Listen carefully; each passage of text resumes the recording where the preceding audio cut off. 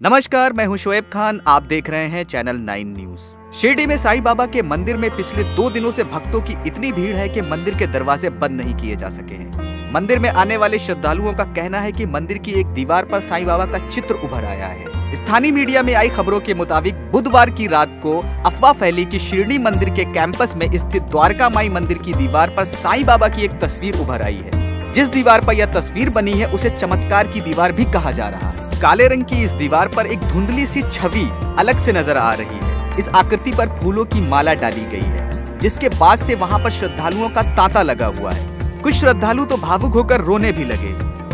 द्वारका माई वही मंदिर है जिसके बारे में ये कहानी प्रचलित है कि साईं बाबा ने यहाँ पानी से दीपक जलाए थे। बुधवार के बाद गुरुवार और शुक्रवार को भी मंदिर में बड़ी तादाद में श्रद्धालु जमा रहे, जिससे मंदिर का दरवाज़ा बंद नहीं हुआ।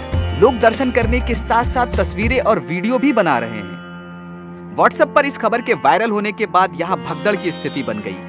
पूरे मंदिर की निगरानी सीसीटीवी कैमरों के ज़रिए की जा रही है। वही एक भक्त का कहना है कि 2012 में भी प्रतिमा दिखने की अफवाह उड़ी थी या शायद मूर्ति का रिफ्लेक्शन हो सकता है। महाराष्ट्र के पाथरी में 1838 में साईं बाबा का जन्म हुआ था। लोग उनको भगवान का अवतार मानते हैं। 16 साल की उम्र में साईं बाबा शिरडी पहुँचे थे और कई सालों तक तब किया। उनके चमत्कारों की वजह से लोग उन्हें संत मानने लगे। दुनिया में बाबा के भक्तों की अपार संख्या है। इस मंदिर में देश विदेश से तकरीबन पच्चीस हज़ार श्रद्धालु हर महीने आते हैं। आगे की खबरों के लिए जुड़े रहिए हमारे साथ में। देखते रहिए चैनल नाइन न्यूज़ मुंबई